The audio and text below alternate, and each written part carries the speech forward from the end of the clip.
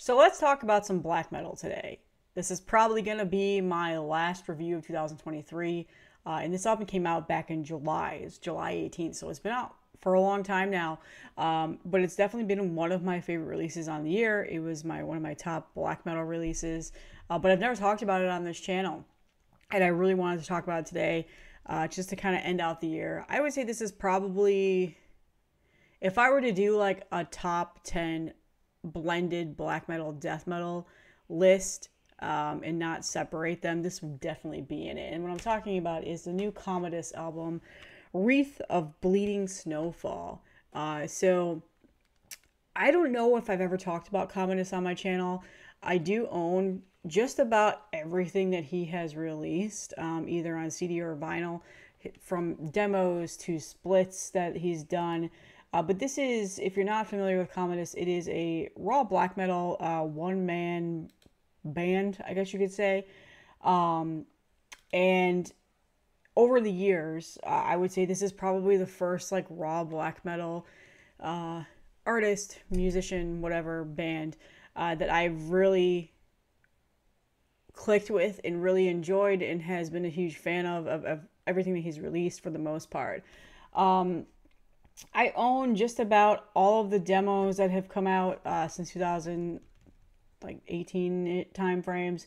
Um, and he's got splits uh, on top of splits out there. I think there's one with Valak. Um, who else? Um, I'm blanking right now. I should have pulled them all off my shelf, but um, for the most part, I'm a huge fan of Kommodus. Uh, it's it's a very um, I would say acquired taste in terms of the sound of the music and the type of music that is made. Um, and I'm actually surprised at how much I've really enjoyed the stuff that uh, he has put out and what how just what I've listened to. Uh, but his first album came out in 2020, which is self-titled Kommodus, and that is the only one that I have not been able to get. Uh, is out on, I believe, Goatowarex is who put it out.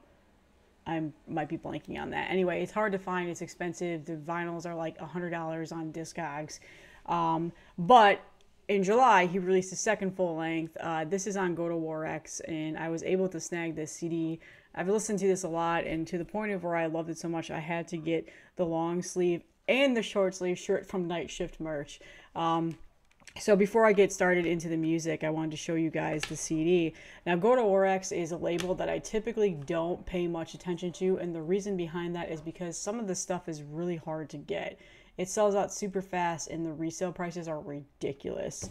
Um, and that is generally for the vinyl. I do have a Sanguine Relic vinyl that I've shown off on here. That one I bought for retail or resale on Discogs for like 40 bucks.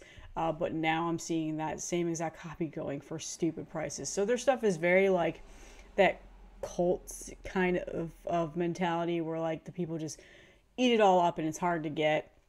Um, but this one has only been released on tape and CD.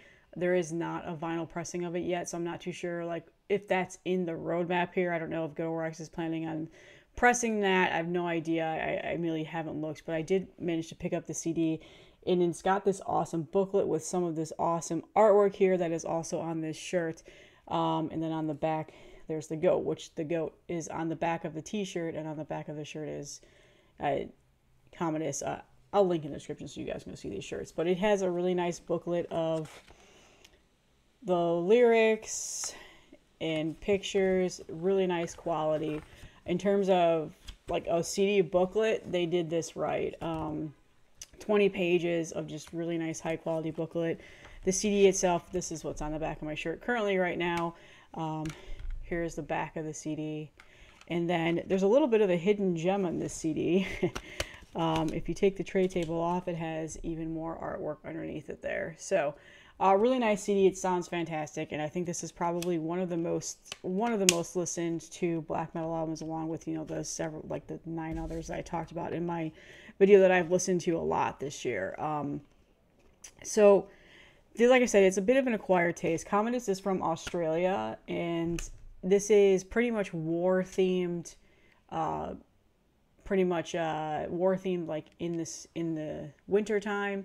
Um, so it's it's about um, life and death essentially is what I was reading. It's like a It's a full moon winter saga, narrative fantasies of bloodied battles, legendary dreamscapes, ferocious beasts, violence, redemption, and survival, shaped into eight tracks, which both condense and elaborate on the style honed over the prior nine releases. So I would agree with that. Uh, this is very much a Kommodus album. The sound of his previous releases are very much here.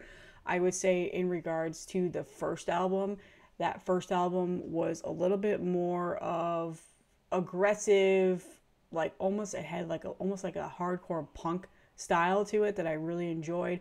It's definitely raw black metal. It's got that raw production. Doesn't sound that great, but if that's something that you enjoy, you'll like that. Um, and that rawness is still very much here on this album, but I would say the production is a little bit cleaner, a little bit nicer. Well, better. I wouldn't say nicer. It's got a very much a, a sludgy, raw sound to this. Uh, there's a lot of elements on this album. There's a lot of things going on in this album. I would say a lot more than than previous uh, releases that he's put out. Um, several times I listened to this just on the CD and in my car. Uh, but when I put my headphones on one day, I heard so many other things going on in the background of the music that I didn't quite pick up while listening to this on my stereo. And I think that that alone in itself says this is something that needs to be listened to several times because you catch something new every single time you listen to it. Uh, but there is very much that raw sound that he has in previous releases, the same war style of vocals that he has, which is just very raspy, screamy um, vocal style. Uh, and that is pretty much the whole entire vocal style throughout the whole entire album. There's not much variances around that. So there's like no cleans or anything like that. Um, but Kommodus has a very distinct, unique vocal style that I actually really, really enjoy. Some people find it to be a bit of a deterrent for his music, but I like it. It reminds me of that war metal screaming that you often hear and, in that type of war metal sound, like blended in to raw black metal. Uh, and that's something that I've gravitated towards to when it comes to this style of music that he writes. So this album I think is miles ahead of the first album. I really enjoyed the self-titled release that came out a couple of years ago. I still take it off the shelf and listen to well, I still listen to it digitally. I don't own it physically. I'm just so used to saying take it off the shelf, like that's my term that I use. Uh, but digitally, I still listen to it.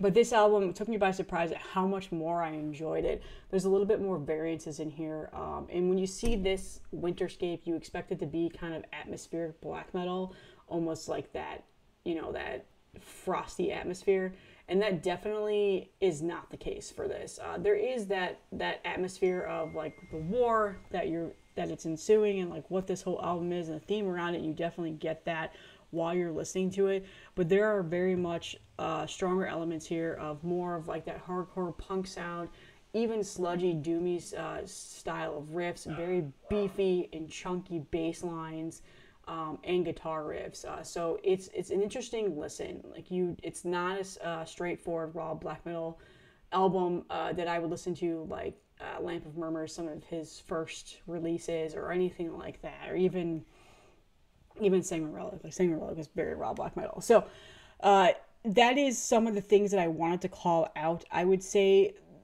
it's a very uh, unique listen, and it's a very acquired sound that you may not enjoy right away, especially if you're not familiar with Kommodus. Uh, but for me, it clicked right away. And this album is very, very good. There are times where I've gotten goosebumps because I it just goes into like you almost get into like a trance while you're listening to it. And like I said, it, each song stands out alone. There's a lot of variances throughout the songs, and yeah, the vocal style does get repetitive, but not in terms of like the musicianship, the guitar writing, those aspects. They're very unique across every song, while still maintaining the same sound across the album, if that makes sense. Um, but he's got that iconic raw guitar riffs, like that deep war style of drumming on here um, and then his like barking, raspy style of vocals. Uh, that's still very much present. That's still very much Kommodus's sound, like unique sound that he's known for. Um, but I would say this is a much more, I guess, cleaner. I don't know if that's even the right word. Production style, like I mentioned, it's a little bit more crisper sounding. Uh, maybe just mixed better. I'm not too sure, like what, how to really say. Because like when I say clean production, you're gonna assume like it's super clarifying. It's definitely not. It's still got the raw black metal sound to it. You still have to really pay attention to what's going on in the distance of the music. Like there are guitar underlying guitar riffs on here that are not as distinct and not as present in the mix unless you're really paying much attention to it. Um, but the vocal style, the vocals are very present. Uh, it's not like very raw where you just don't know what's going on uh, or anything like like not like Black Solace is what I would compare it to. But it isn't as heavy and fast paced as the first album. I would say the first album was super fast paced, just crushing, heavy, aggressive the whole entire time. This has a little bit more of a variance where there's build up and and slow down, uh, chunkier style of riffs, uh, especially on this song uh, "Shelter Within a Whale's Carcass," which is just an awesome song title. That is also one of my favorite songs on the album. It's a little bit more of a slower, slower pace, like almost doomy, sludgy, like hardcore sound that I'm getting, but it does pick up towards the end. It just has a really heavy, fast-paced riffing at the end of the song, and there's also like a Nirvana riff in here uh, from the song "In Bloom." It's very subtle, but as soon as I heard it, I caught it, and I was like, okay. Uh, but it goes well. So that's kind of the unique aspect of this song. Um, the album starts off awesome, and the album, op- the song opener "In the Moonlight" is a fantastic song. Um, it's just heavy and doomy again, like that doomy, sludgy guitar sound down here. Uh, his growling deep vocals, um, and then while maintaining that raspy scream that he does. Um, but it almost has a bit of like a thrashy vibe to it well. So there's a lot of things going on on this album that is a lot more layered than the past release. Um, Sky Fortress, which is the fourth song on here, is a little bit more of like a black gazy song, like a black shoe gazy song. I guess that's the right term. Um, it's just a little bit more slower. You kind of get put into a trance. Like it's a very relaxing slash cathartic song. Um, it's got this very uh, like cathartic underlying guitar riff that's almost feels very rock, like heavy metal rock inspired, which a lot of those guitar riffs on this album sound like that, uh, which makes it pretty unique. Um, not a whole lot of that fast paced trem picking that you might expect uh, within a, a, black metal album. Um, for the most part, I would say this album definitely has its flaws in that like I said, if you get tired of the like same vocal variants across the whole entire album, if there's not a whole lot of change in a vocal style, that I can see why that would bother you. Um, but in terms of length, I, I think some of the songs are just a slightly a little bit longer than some people might expect. Like the first song is six minutes and 54 seconds, so almost seven minutes. And the final, there's this seventh song on the track, A Bellowing Colossus Silhouetted Within the Blizzard. these song titles are awesome, is over seven minutes long, but that's a fantastic song. It's an epic song. It is fantastic. Uh, I don't think that it's too long. Um, it ends with just a, a really awesome like guitar solo. It's very melodic sounding and a very ferocious song. So, uh, but those are the things that I would say maybe some people might complain about. But I would say in terms of of length of this album, it is only 45 minutes long, whereas the first album was over an hour, and I think that was probably like just really too long in my opinion. So I think the the length overall is very good for this album. Like he f- kind of fixed that from previous album. Um, the other thing that I really wanted to call out is is that I, I found I found that this change of pace to be better, like a little bit more variance ended up being a good change for me. And some people may not have liked that. They might have really just liked the straightforward, ferocious, raw sound from the first album, and this one might just be a little bit too variance and have too much stuff going on that you're listening to. Um, however, I found that that to be a good thing for me uh, and what I enjoyed the most. Um, but overall, this has been such a fun experience to listen and like every time i listen to it i hear something new uh, just very unique style of writing and with raw black metal i tend to get bored with it because a lot of it just sounds the same as a lot of it's very repetitive. And this just threw a curveball out there and was like okay this is this is really well written in my in my opinion. So a fantastic album. I hope that you know you check it out. This CD is around. It's in distros. I don't. I'm pretty sure Go still has it on their website as well. Um, I do hope that there is a vinyl pressing coming soon. I would love to have this on vinyl. Um, just I mean just to have in the collection, but for now the CD is okay.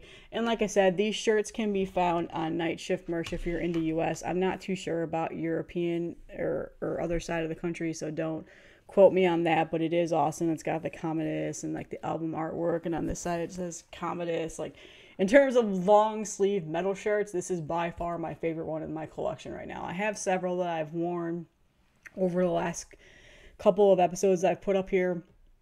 And in Florida, where I live, it doesn't stay cold for very long, so I take full advantage when it's cooler out to wear these shirts because man, I absolutely love them. So it's a really nice shirt, really nice quality, Night Shift merch does. They release good stuff. I, am pretty sure they printed this. I'm not too sure. Don't quote me on that, but I got it through Night Shift merch, so it's a great shirt. Uh, so yeah, um, and I've seen so I've seen Eric um, from High Defamation wear this shirt, and then I also saw Matt from Altars of Madness had it on, and I was like, "Fuck me, I need to get that shirt," because I just I liked it so much. So anyway, I've gone off on a tangent now. So that is all that I have. Again, this is probably my final review of the year. I don't think there's anything else out there. I mean, yeah, the new Cryptworm is out, but I'm going to link uh, Simon's review of it from Heavy, heavy, heavy Metallurgy.